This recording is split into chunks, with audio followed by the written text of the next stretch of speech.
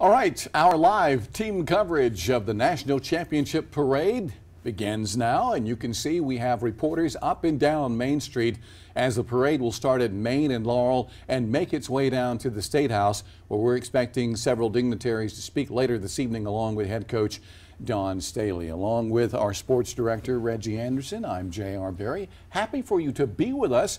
A big, big night for this team. Second time in the Dawn Staley era. Yeah. And obviously, given what she's accomplished, I mean, Olympic wise, WNBA wise, yeah. obviously as a player and as a head coach, she's reached unprecedented heights. Yeah, as we mentioned, we do have live team coverage. That parade is just now getting underway. Let's check in with Rachel Rip. She's along the parade route with more. Rachel?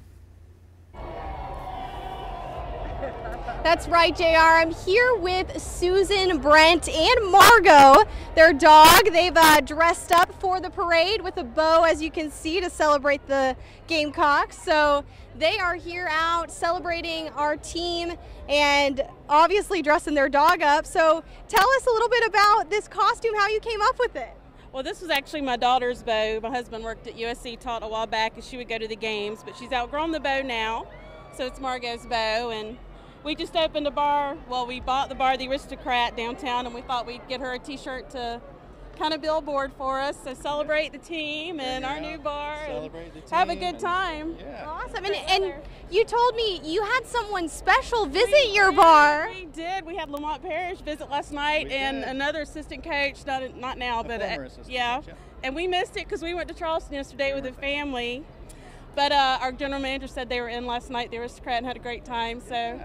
sorry we missed it, but I'm hey, glad to host them. them. But yeah, yeah, glad to have them. Yeah. All right, wonderful. And, and tell us, you know, what are emotions? This parade's about to begin. How are you feeling? It's, We're it's excited. so yeah. many people it's here, incredible. and it's great to have community again. We went so long yeah, with everybody, and now we're just, you know, it feels like freedom, and this is just great timing, just and it's wonderful. Yeah, great weather. Everybody's it's in a great mood.